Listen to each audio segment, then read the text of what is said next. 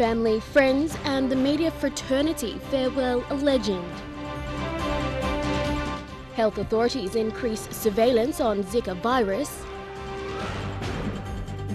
And Ryan Pini first to qualify for Rio Olympics. This is National MTV News with Lorraine Genia.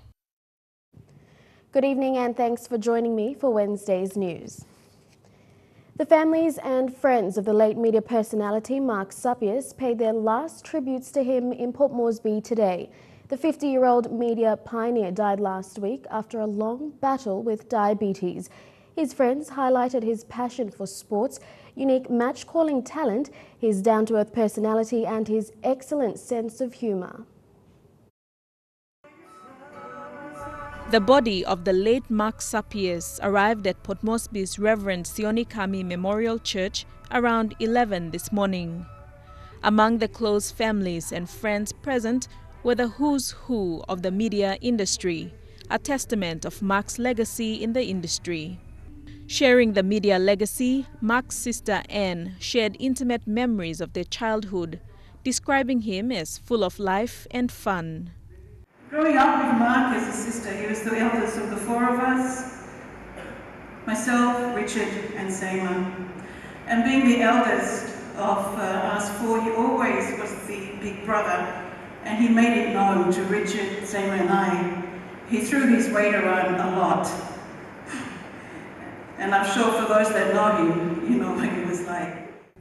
A video eulogy was shown with all the highlights of Mark's life, from early childhood with his parents to his education in Australia, the beginning of his love for sports, and on to his vast accomplishments as a sports broadcaster, making Mark Sapies a household name around Papua New Guinea. Mark provided distinguished services to MTV and to the National Broadcasting Corporation. Despite his popularity, his close friend and co-host Rod Pierce said Mark was a loyal friend. Once a mate, always a mate. Your mate was his, and his mate yours. His children also remembered Mark as not only a father, but a good friend and a mentor as well. I'm so proud of the man you were. Your legacy will live on forever. And that was one of my favorite things about Dad. No matter how sick he was, he always managed to put us first. He was very loving, but you know, very fun in a way. Yeah, no, my dad to me was my hero, my idol, Superman, Batman, whatever you want to call him. The late Mark Sapies leaves behind his wife Margaret, four children, and one grandchild. His body will be flown to the East New Britain province tomorrow, where he will be finally laid to rest at Vunatagia on Friday. Delhi Waigeno, National MTV News. Do not panic, but take note. That is a message from the National Department of Health and the World Health Organization on the Zika virus outbreak in some parts of the world. The National Response Team, headed by Dr. Boris Pavlin from WHO and Barry Roper, NDOH Surveillance and Emergency Response Office, is taking immediate action to rapidly increase surveillance on the case. Expecting mothers or women of childbearing age are vulnerable to this disease. The good news is no case has been detected in PNG as yet. However, PNG has the same mosquito that can carry dengue, yellow fever, chikungunya virus, and other mosquito-borne diseases. WHO and the Health Department Technical Civilians team said that the outbreak was declared by WHO as a public health emergency of international concern only because of the recent infections in Brazil. It has been associated with an increase in the birth of babies with microcephaly, meaning a baby is born with a small head or brain. They had also been experiencing this, this new outbreak of Zika virus. Uh, and so while it's not conclusive yet that the Zika virus is the cause of the uh, birth defects, uh, it's concerning enough, there's enough unknown um, that the World Health Organization does consider this to be. Zika virus is present in the Pacific. The first case was detected in Micronesia in 2007. PNG is at risk of having the virus. Development has been already ongoing. Um, that if uh, Zika virus was around in PNG, I think we would have already detected because we have a laboratory that's already doing tests for dengue and other viruses. The virus is passing from a mosquito bite from an infected person onto another person. WHO confirmed that it is a mild illness and people will not know that they are sick. However, the, the big concern is that um, pregnant women um, who uh, get the infection may may uh, result may end up with uh, their babies having birth defects. To prevent it, always sleep under a mosquito net during the day and night time, and always use insect repellent. It's not magic science. I think it is a very simple thing that people of Papua New Guinea can do themselves in order to uh, uh, not only to prevent uh, the spread of Zika virus but dengue and Uh, chikungunya. The symptoms include fever, skin rash, muscle and joint pain, red eyes, tiredness, and headache. Even though there is no vaccine or treatment to Zika virus, the symptoms can be treated with common pain and fever medicines. Basinata Yama, National MTV News. Lack of police evidence has resulted in the dismissal of a case involving dangerous driving, which resulted in the death of two people. Defendant Martin Suku, who appeared before the Bomana District Court this morning, was told to return home after spending three months at the Bomana prison. Tekla Gunga reports. It was alleged that on 17 September 2015, the defendant Suku drove a Toyota Camry sedan, grey in color, from Morata to Waigani. It was heard that Suku ran off the road and hit two pedestrians. Police investigations revealed that the pedestrians were killed as a result and Suku was initially charged for dangerous driving resulting in death. Following his mention, Senior Magistrate Cosmas Bidar said the court had not received an update on the progress of police investigations and can no longer adjourn the case. It is understood police prosecutors were not able to get a progressive report on the case and were told that Senior Constable Godfrey Stephen, the officer heading the investigation, was on leave. Following this, Magistrate Bidar struck out the case, stating that the matter can be pursued again when Constable Stephen returns from leave. In other methods, the National Court had decreased the bail amount from 500 to 200 kina for a woman in her late 20s, Christine Kinawat, who was charged for willful wounding of another woman. Kinawat's case has been adjourned to February 17, also because of a lack of police evidence. Her case is the third that was listed today and was adjourned because of lack of police evidence. Thakla Gunga, National, MTV News. Prime Minister Peter O'Neill has given hint of political will to upgrade PNG's rundown jail system. Mr O'Neill, in a media conference last week, has made assurance to allocated funding to improve capacity of both jail facilities and the CS staff welfare in the country. This follows concerns raised over crowding prisons and the deteriorating homes of prison staff all over the country. Edwin Fidelis reports.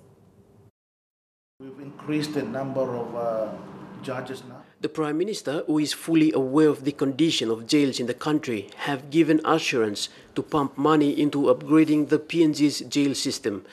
We are, we are very well aware and we are prioritizing on trying to assist them. The blame on the ever-increasing prison populations has been leveled on the number of remandees awaiting their sentences and the contribution from successive governments over the years failed to prioritize prison upgrades. We have been slowly putting more funds into trying to train, build capacity, look after the, uh, uh, the correctional officers.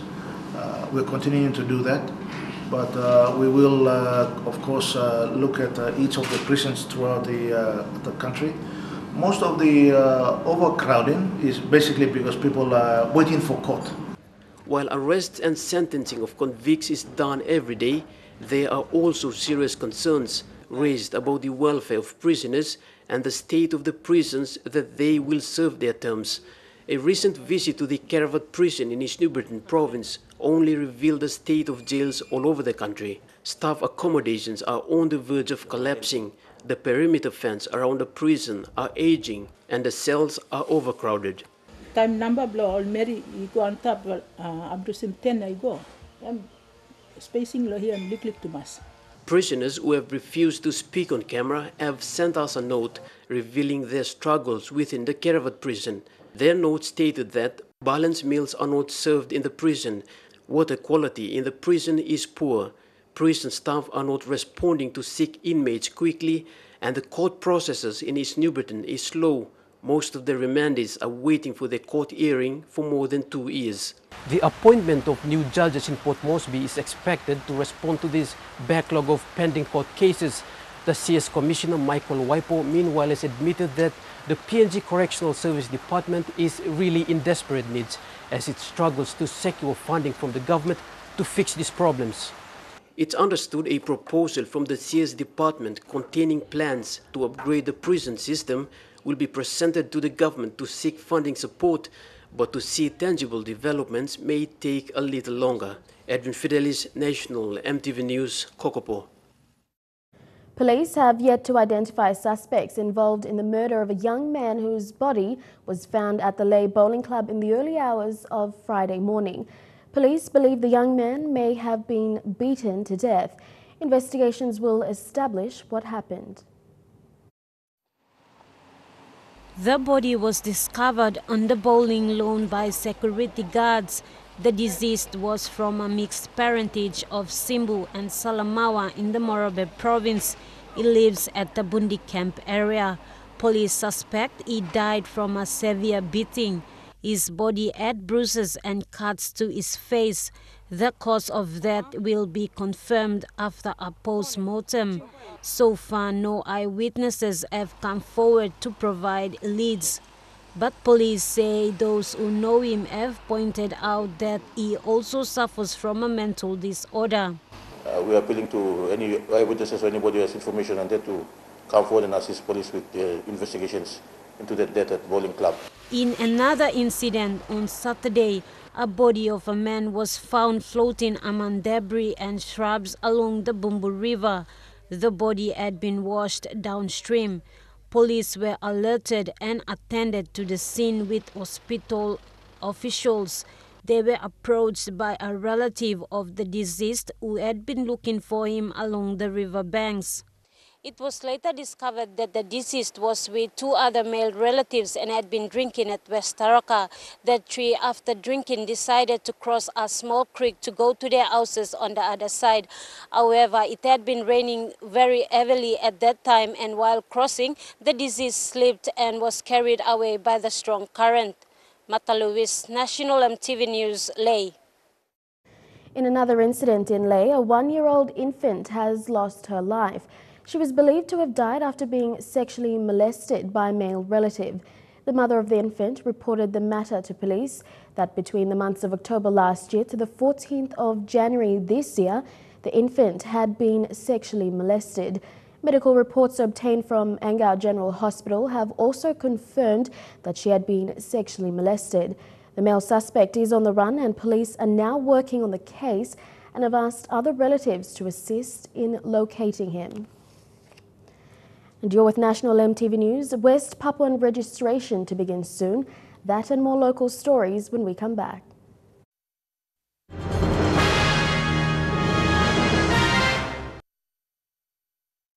Welcome back to the news. The Papua New Guinea government will begin the registration of West Papuans living all over the country more than 40 years after the first lot of West Papuans crossed the border as political refugees. Prompted by a public outcry after the asylum deal with Australia, the registration is part of a nationwide move to give West Papuans formal recognition either as citizens or refugees. An announcement for registration will be made soon for West Papuans living in Lae City. As the country prepares to mark World Cancer Day tomorrow, Morobe continues to be in a battle to fight cancer cases at its Angau Hospital. Radiotherapist Becky Pice says Angau Hospital is providing the service of fighting cancer despite lack of equipment issues experienced over the years. Angau serves as a referral hospital in Morobe. but has been admitting cancer patients from as far as the Highlands and other Momase region provinces. These are the women gathered at Lae's Angau Hospital this morning to get free screening for cancer. Today's advocacy activity is a lead up to World Cancer Day tomorrow, marked worldwide in raise of awareness. Lae's Angau Hospital is home to the country's only cancer treatment unit. It is a facility struggling with funding. Pa patients, by the time they get to us, they have to wait because we don't have this kind of equipment available. We have a cobalt source, we have a machine, but the source is already past its half-life, meaning that the, the strength is already reduced by half, but now it's like it's quarter strength. Like some of their machines have had technical faults for over seven months now, pending the health department's action to get the machines fixed. Lae's Angau Hospital is another health agency that has been working to combat mouth, breast, and cervical cancer in Morobe. We have the um, experts available, but we don't have the equipment to go with that. But we are making sure that we still provide service. Tomorrow, more people are expected to get tested. The focus for years has been on the rate of cancer among women and girls. Colin Barilai, National EMTV News, Lae. A flood-prone village along the Bulolo Highway has developed a disaster risk management plan after floods threatened people's lives and destroyed their food gardens. The International Office for Migration helped people from Timini village create the plan. It's an important plan that will ensure the people are prepared for the worst. As Bethany Harriman reports, disaster risk management plans are needed in places around the country known for natural disasters.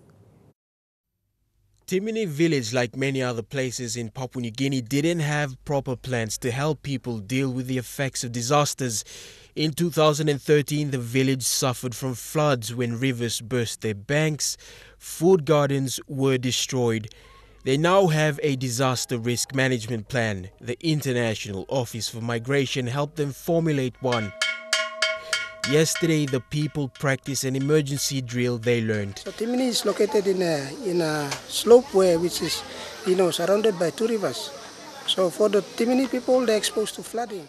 Timini's story of 2013 was a small case that could have been handled better if provincial authorities had a disaster management plan. Last year during the drought, most places received little assistance. Some got none at all. Sluggish bureaucracy and the lack of funding slowed down relief assistance. The general sentiment in places prone to disasters like Timini is they need to be more self-aware before disaster hits. Many Papua New Guineans feel they can't rely heavily on their own government for help. This like one good place something when come up inside the community because over the time the life the me plan me place a maybe inside the disaster house and water. According to IOM, the sustainability of the Timini disaster plan relies on the community's will to be prepared. The next time a flood does come, the Timini people will be prepared. Food security measures would have been taken. In the future, disaster committee members will be prepared with disaster drills that would have been practiced by the people. Bethany Harriman, National EMTV News, Lae. Concerns have been raised by the opposition on the high rate of inflation. Opposition leader Don Polye says the prices of goods and services are still too high for ordinary Papua New Guineans to afford. This is despite the drop in domestic fuel prices. The drop in domestic fuel prices is a direct result of the drop in global oil prices. This is expected to lead to a drop in the prices of goods and services. However, there seems to be no reflection of the fall in fuel prices on the overall prices of goods and services. The opposition leader Don Polye described this as uncalled for. He urged business houses and individuals to refrain from ripping off their customers. Polye says the burden should be lifted off the shoulders of ordinary Papua New Guineans struggling to make ends meet to survive. He has also called on the Prime Minister Peter O'Neill and Treasury Minister Patrick Pruaitch to justify this increase. Consumer and competition watchdog ICCC echoed similar sentiments for service providers to be fair on their customers. Whilst commending ICCC for their efforts, Polye says they have to do more to protect the consumers from being cheated. Nobody is telling us that I am the first one reducing the price of rice, tin fish. Nobody is telling the people of this country. No, none of the business houses are being honest. None of the airlines are telling us that we are reducing because we have the fuel price changes. Everyone is very silent. The onus is also on consumers to start pressuring the government to do more to reduce the prices of goods and services. Polye urged them to hold business houses and service providers accountable by reporting situations of overpricing to ICCC for investigation. Mickey Cavera, National, MTV News.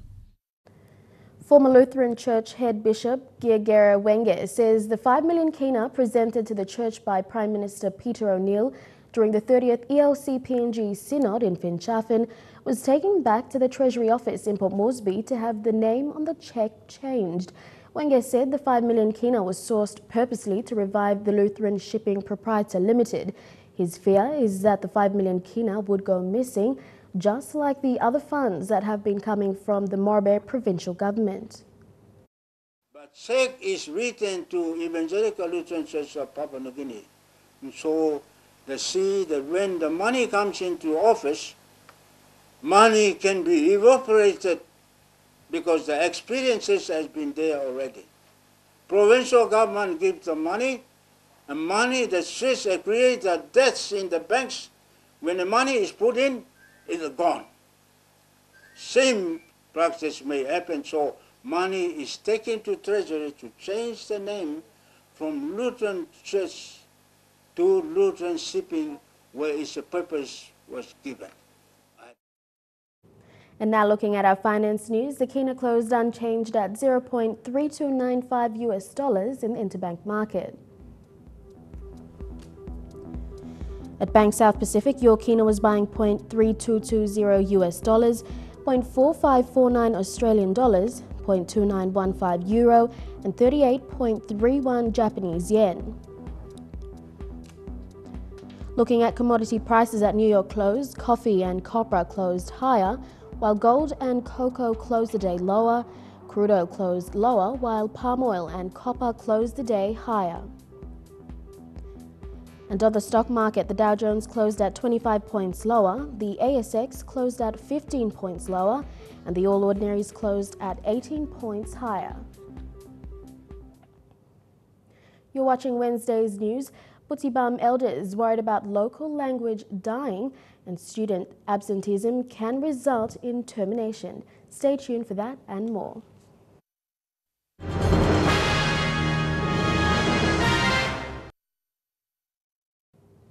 Welcome back. Village elders in the Butibam village in Morobe province are taking steps to preserve the Yomkawa language spoken largely by older members of the clans. They fear the language may be lost within 10 years. They are now working with a film crew to preserve the dying language through audio recordings and the filming of a documentary. Butibam is one of the other Hai villages in the Lae district. The village lies near the Bumbu River in Lae City. The people here and in nearby villages speak the Yomkawa language, but it is a language that is slowly dying. The language is understood but no longer spoken among the younger generations. Tokpisin has taken over. Jonathan Benjamin is the chairman of the Butibam village. He and some of the older people in the village are now the only ones who can organize traditional ceremonies using the Yomkawa language. This is the seventh generation of the original people who settled here. At least three decades ago, the elders realized the language was dying. Five generations, they come down. And top places start to lose now. The old people in the village are now taking the first steps in many years to preserve their traditions through audio recordings and the filming of a documentary. The Momase film, in partnership with Water PNG and the High Hope Foundation, are assisting village elders to record the Yomkawa language through their traditional songs with the filming of a documentary for the village. The film and the audio recordings will be sent to the National Film Institute in Goroka. Butibam village is the first to carry out this initiative. The Momase film will also carry out similar programs in the other Hai villages. PNG's rich cultures may be lost if they are not practiced regularly. The young generation today needs to practice these rich cultures of the country so that they are preserved. Our traditions and cultures will be lost if they are not passed on. Mata Luis, National EMTV News, Lae. Students who have been continuously missing classes for 30 days will be excluded from studies. This was a message from Christine Suga, head teacher of St. Teresa's Primary School in Port Moresby. Mrs. Suga said this policy, sanctioned by the Education Department, is effective for all schools in the country. With the government's tuition fee free education policy, many schools in the country have seen an increase in student enrollments this year. The Education Department has played an important role in the implementation of policies that safeguard the academic welfare of these students. And one of the set policies invoked and effected by schools is to monitor student attendance. Speaking to MTV yesterday, St. Teresa's Primary School head teacher Christine Suga said there are specific education policies that deals with students' attendance. More than uh, 30 days absenteeism, uh, no explanations, uh, it is a must that it's adhered to the policy of education. They have to come with a medical record. Otherwise, my school says write a letter, explain the reason, and we refer them to education office. Students missing classes for 30 days will be terminated according to education policy. To follow the routines of the requirements, write a letter of the absenteeism, absenteeism, and refer to the authority and they will advise them what to do because it's beyond. However, they will be considered for medical reasons and genuine reasons on appeal through the Education Department. Eric Aruma, National EMTV News. The only technical institution in Gulf Province, the Malalaua Vocational Centre continues to face infrastructural constraints each year. For 2016 enrolment, at least 50 students have registered, but head teacher Philip Carava says student numbers have decreased over the years due to the poor state of the centre's facilities. The Malalaua Vocational Center was built in 1974 to teach life skills courses to Gulf students. In the first 20 years of its establishment, it was administered by expatriates and had enrolled students from both East and West Kerema. Head teacher Kavara has been teaching since 2013. His biggest task is to produce quality outcome with the school's limited resources. So, resource, the equipments must be on the ground. We try on the board, we try around the, everywhere to break open the poor kid. After all, they are innocent young people. The center is entirely dependent on the government's tuition fee free funds for its operational costs. Uh, not getting support from other stakeholders. It's like uh, we cannot do things one manner. So sometimes, why am I doing all this hard work for? Do I have giants around here to support me? Of course they are. The school's biggest challenge is its limited facilities. At the moment, it does not have a female dormitory, lacks a proper ablution, kitchen and laundry facilities. Thakla Gunga, National MTV News. Building bridges has been the focus of the Lower Wagga local level government in the Komo Magarima district in Hela. Recently, the Lower Wagga people witnessed the opening of a bridge that will connect schools, a health facility and a mission station. The bridge was opened by Hela Deputy Governor Thomas Potape.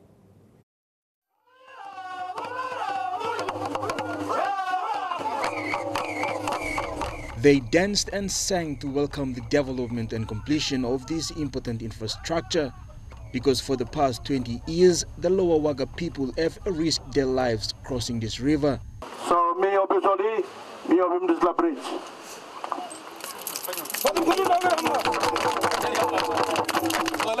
The Ulugara Bridge was built with the counter-funding cost of 165,000 by the Lower Waga LLG and the Komo Magarima district. This bridge is the fourth in the area. Ina mibla kisim liglig money. Na mibla na bogim gog longa na tusa kain bog. Lokim service community. Local MP and Assembly voted Hela Governor Francis Potapes says the current politics will not deter delivery of services. He says 2016 is a new era for Hela. New era in the Hela province. New era blongol young Ploma. New era blo young Plomeri. New era blo many group stuff. President Gulua Wagina called on the government to fully release the 500,000 kina promised to LLGs. Because people say kolosi one time. People now. This is the kind something no seminar people are giving service to more people. That's what now government is raising the 500,000 now. People are giving short win now. The opening of the bridge will now see the easy transport of materials and movement of people to access services in the Lower Waga LLG and in town. Politics mean nothing. Politics mean nothing. Government service is important. Jake Lapava Jr., National MTV News. Trukai Sports is up next with Ryan Pini prepping for Rio and Michael Marum settled on a new look SP PNG Hunters team to take on the Penrith Panthers. Stay tuned.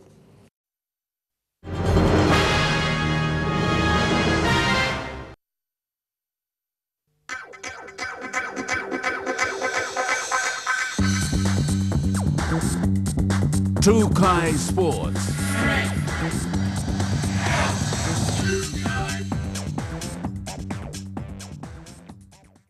Welcome to Trukai Sports. Papua New Guinea's superfish Ryan Pini is the first athlete to qualify for the Rio Olympics in August this year. This will be his fourth time to participate at the Olympic Games. He'll compete in the 100 metre backstroke, butterfly and freestyle events. After great success in the 2015 Pacific Games, Ryan Pini has continued with his campaign for the Rio Olympic Games. He has already started his Olympic preparations attending competitions in Australia. Pini is determined to improve his timing after swimming an Olympic B qualifying for three events 100 meter butterfly, backstroke, and freestyle. Pini is the first athlete in PNG to qualify by rights to represent PNG at the Rio Olympic Games this year. This will be his fourth appearance. In 2012, Ryan was settled on it being his last games, but the Pacific Games got him into the stroke of things, and Rio is now his gold. Mike Koime, National MTV Sports. The new look SP PNG Hunters are on track to open the new National Football Stadium. Last week, Hunters coach Michael Marum was hoping for options in his team However, however, on the eve of the match, has now cemented his squad. This is the only trial match for the Hunters before they kick off the 2016 Intrust Super Cup season. Coach Michael Marum will use 23 players for this trial match. The 23-man squad include new recruits Ishmael Balkawa, Watson Boas, Silas Kahuna, Benjamin Hetra, Philemon Kimisive, Tuvi Lepan, Justin Olam, William Aquila, and John Ruggie, who are all expected to get game time. Marum will work out a starting 17 at this weekend's trial match for the Intrust Super Cup opening round clash against the South Logan Magpies at Davis Park, Logan City, Brisbane on March 6. Several players will miss this weekend's clash due to injury. Brandy Peter, Anderson Benford and Enoch Maki are the most serious casualties. Timothy Lomai was not included in the 23-man squad as he is still under suspension. Tickets for the match have gone on sale today at all Stop and Shop outlets in Port Moresby. Ticket prices for the match will be 50 kina in the grandstand and 25 kina in the outer stands. Elijah Lavette, National MTV Sports. You're watching Trukai Sports. We'll be back shortly with an update on preparations for the Kimbe Games. Don't go away.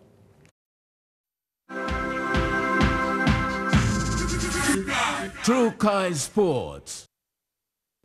Welcome back to Trukai Sports.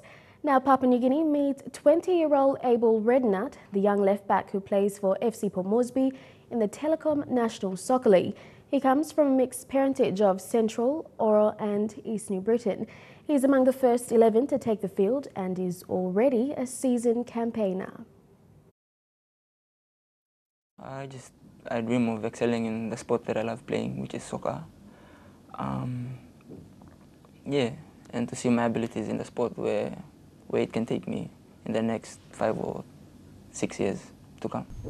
As a child growing up, however, he feels more Morobean than anywhere else. Um, I'd say because as a child growing up, uh, I stayed with my mom's parents. Um, and my grandfather is from Morobe, so I lived most of my childhood with him. So yeah, I mostly go back to Morobe for holidays. Alwin Komolong's goal during the Pacific Games, a recurring memory for him. So we were just like really holding in and everything. And then when Jacob Saboa took the um, penalty, and then when we just saw the ball headed by Alwin in to that far post, oh, we all ran into the field. It was a really good feeling. in our heads, there was nothing in our heads. All we could know was that we we're gonna win bronze for our country, and yeah. Back on the local front, and in the domestic competition, Redinut is proud of his team in FC Port Moresby, a squad that to date has more members with international experience. Bahekari. Firstly, it's an honor, really playing alongside people who have, you know, repped the country internationally and everything. But like uh, Charlie, I knew Charlie when we were small. We played school soccer together and we played together in Asui under 17s, under 20s, and under 23s. So yeah, um, it's always fun playing with him. Uh, with the coach Reggie, uh, he's been a good uh, mentor for us all. Keeps on giving us advice and um, he talks to us, tells us what to do. Um, he guides us in like he's been there, he done that already. So he's um he's really he's really good in motivating us boys. So playing with uh, playing under his playing for his team and everything is really good. It's an honor. As captain Roland Bala, also an influence on his playing style as well. And like all young players, Redinut looks to the future. Shane Saroya, National MTV Sports. While the contracts have already been awarded for the construction of sports infrastructure in Kimbe, West New Britain for the 7th PNG Games, the host organising committee, in conjunction with the PNG Sports Foundation, are yet to confirm the number of sports. The PNGSF have outlined the logistical demands of the Games as one of their biggest challenges however, have said the sooner the number of sports are confirmed, the easier it will be to coordinate the games. Minutes ago on screen. The sixth BSP PNG Games held in the industrial hub of Papua New Guinea, Lae City, proved to be one of the best games since the inception of the biannual PNG Games program. Logistically and financially supported by corporate houses and the government through the Morobe provincial government, it was one of the biggest games catering for over 9,000 athletes competing in all 28 sports and at 19 different venues. This year, however, may see a shortfall in the number of sports that will be included at the 7th PNG Games due to the logistical complications within Kimbe town. Chamalili says the sooner the number of sports are confirmed, the easier it will be for the PNG Sports Foundation and host organizing committee to iron out all operational plans for the Games depending on the number of sport, that will also determine the, the population that will be needing transport. So if we if we can confirm the number of sports that are going to be played, that will really help us in terms of managing the games in 2016. But definitely it will be on November. With the lack of sports facilities and infrastructural developments in Kimbe, a number of sports will be forced to withdraw. At present, Kimbe does not have facilities to cater for swimming and squash to say the least a disadvantage for the grassroots athletes who utilize the PNG Games as a platform into launching their professional sporting careers. Right to the head of Masode. Masode is having to backpedal to... Dion Kombeng, National MTV Sports. You're with Wednesday's news. We'll have your weather details when we come back. Sports.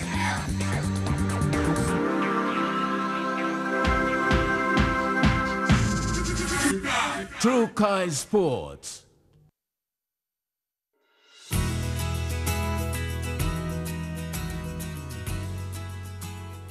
Now looking at the weather forecast for tonight and tomorrow in the southern region, occasional showers and thunderstorms in Port Moresby and Kerema, showers with occasional thunderstorms in Daru, cloudy with a chance of few occasional showers in Popondetta and mostly fine tonight and showers tomorrow in Alotau.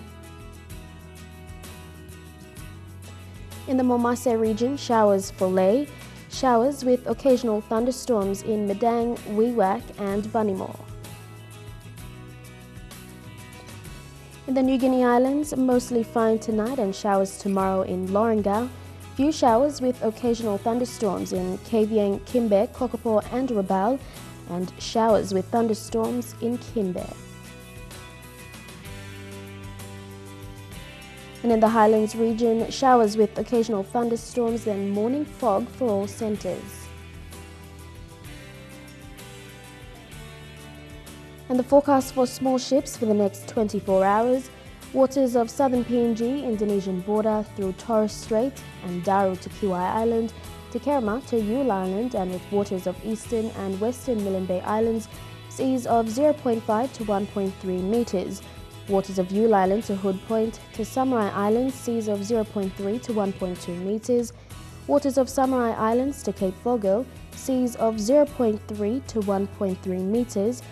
Waters of Cape Vogel to Finschhafen, seas of 0.5 to 1.5 meters.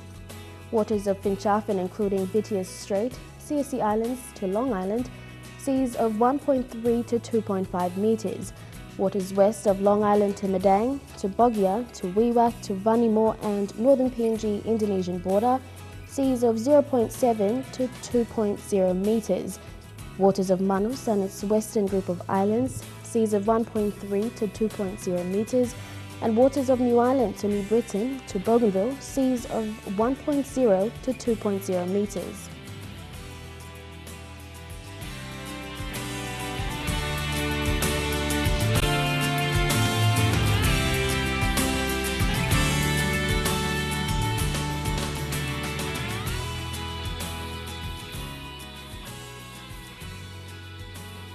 Now the ocean forecast for PNG areas in the Coral Sea sees slight converging with northwest to northeast winds at 10 to 15 knots. In the Solomon Sea sees slight to moderate with northwest winds at 10 to 20 knots tending southwest. In the Bismarck Sea sees moderate to northwest winds at 10 to 20 knots with gusts. And in the Pacific Ocean sees moderate to rather rough with northeast winds at 15 to 25 knots with gusts. Now recapping our main stories for tonight. Family, friends and the media fraternity farewell a legend. Health authorities increase surveillance on Zika virus and Ryan Pini first to qualify for Rio Olympics. And that's the news, sports and weather for tonight, Wednesday the 3rd of February 2016. Until next time, I'm Lorraine Genia. Pleasant viewing. Good night.